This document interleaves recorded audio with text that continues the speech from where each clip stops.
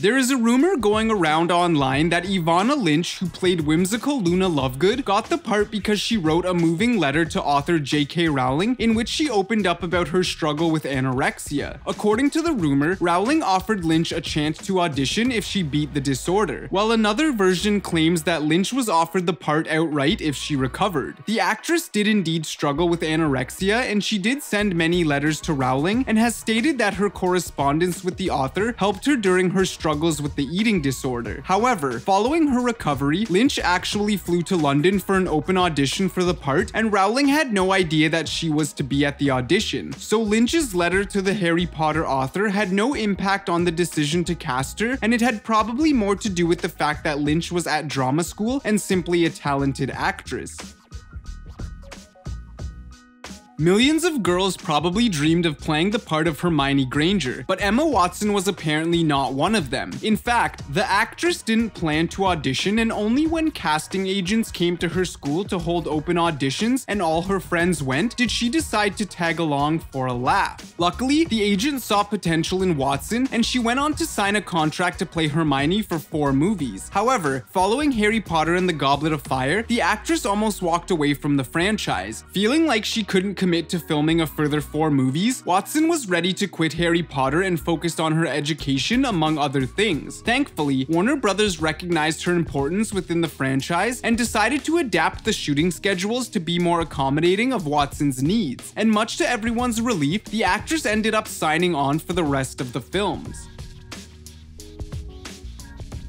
While Emma Watson apparently wasn't too keen on starring in the Harry Potter films, Draco Malfoy actor Tom Felton tried his luck several times. He initially auditioned for the role of Harry Potter, and after being turned down for the role, he went to audition for Harry's best friend Ron. He wasn't chosen for that part either, but eventually landed the part of Draco Malfoy. And while it sounds like Felton must have been a huge fan of the series, he actually hadn't even read the books at the time, only starting to do his research after he had already been cast in the movie.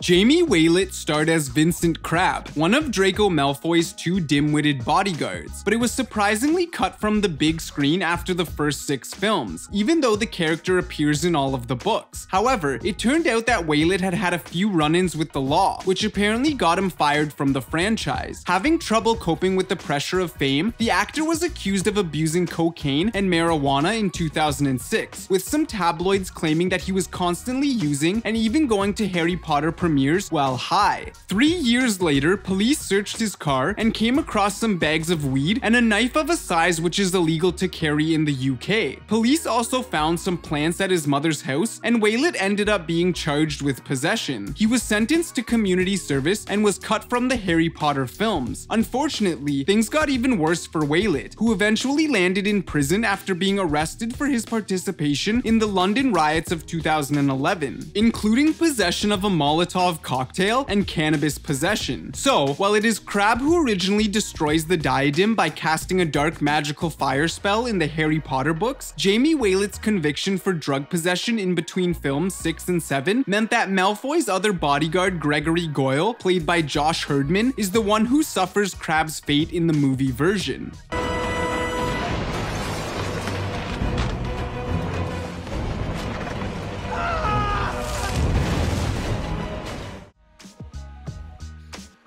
A lot of J.K. Rowling's ideal casting choices ended up being picked for the movies, and although there was a lot of secrecy around the plot of her then still unreleased books, the author actually told one actor how his character's story would pan out in the upcoming books. The late Alan Rickman was the only cast member who knew what would happen to his character, Professor Snape, as Rowling trusted him enough to tell him in advance.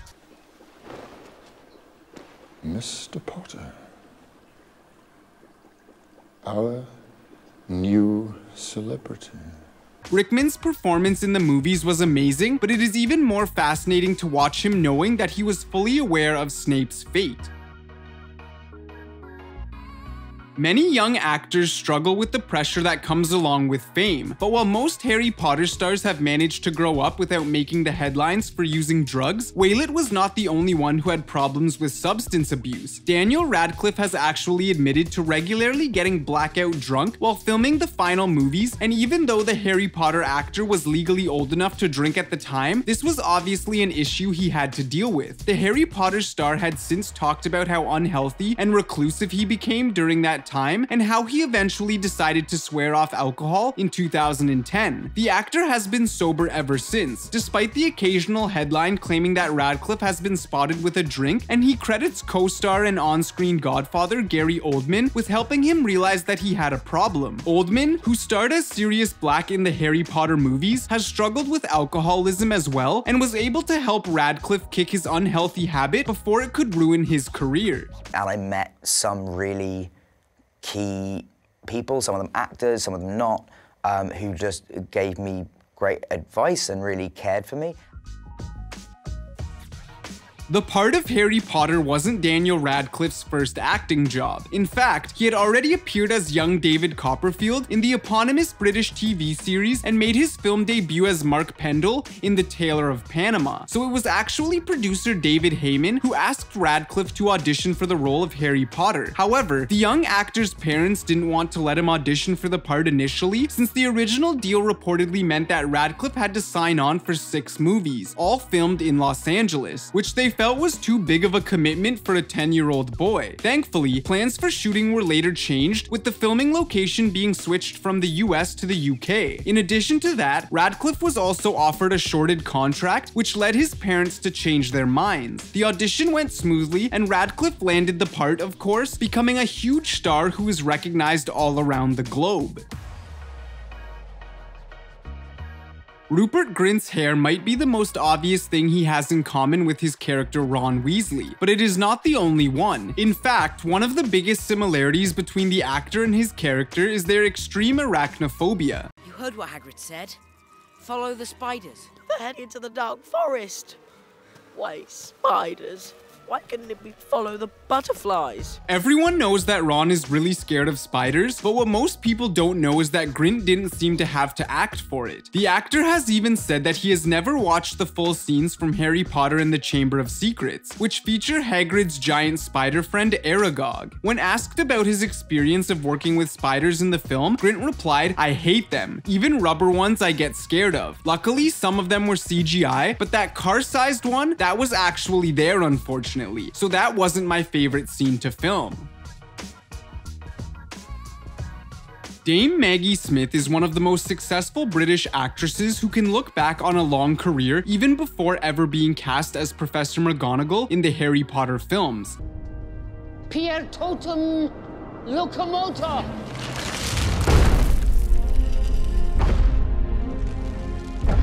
She was J.K. Rowling's first choice for the role, but following the fifth installment in the series, it was feared that Smith might not be able to return to the franchise as the actress was battling breast cancer at the time. Luckily, Smith was well enough to film despite undergoing chemotherapy. She had to wear a wig in Harry Potter and the Half-Blood Prince, the sixth part of the series, but eventually made a full recovery, appearing in the last two installments as well before going on to star in the critically acclaimed TV series Downton Abbey among others.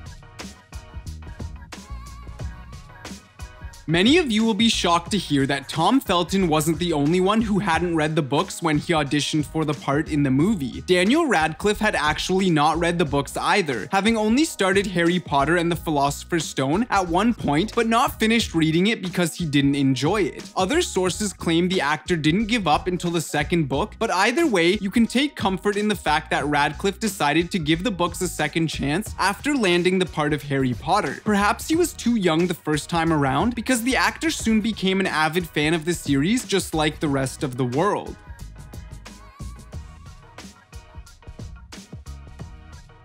Thank you for checking this video out, and don't forget to smash that like button and also subscribe for new videos every day. Turn that bell notification on and comment down below that you subscribed, and we'll make sure to reply and thank as many of you as we possibly can.